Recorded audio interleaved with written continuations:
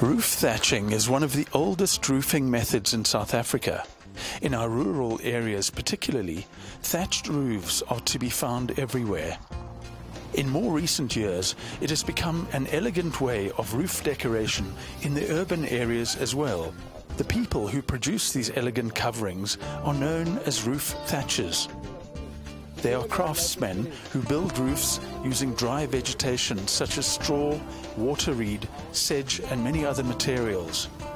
By laying the natural thatch onto roofs carefully, they ensure that the roof is sealed properly and waterproof.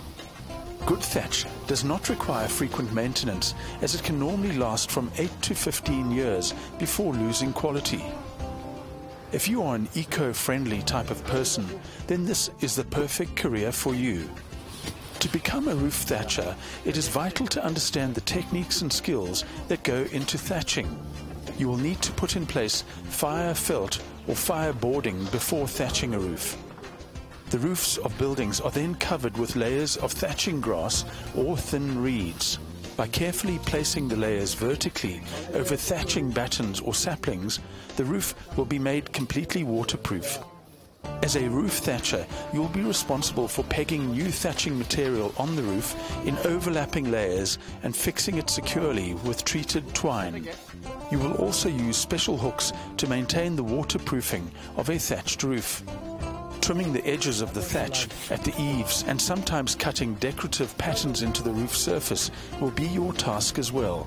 Another responsibility of a roof thatcher is to beat and brush the thatch until it is smooth. This ensures a quality finish.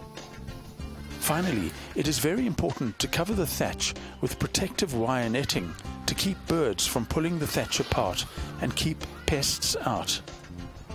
Another role of the roof thatcher is to repair thatched roofs by straightening the edges or removing old or damaged thatch from roofs and re-ridging them as required.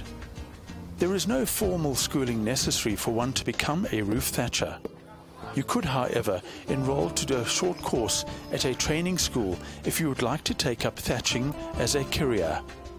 Alternatively, you could get a learnership with a qualified thatcher or a thatching company.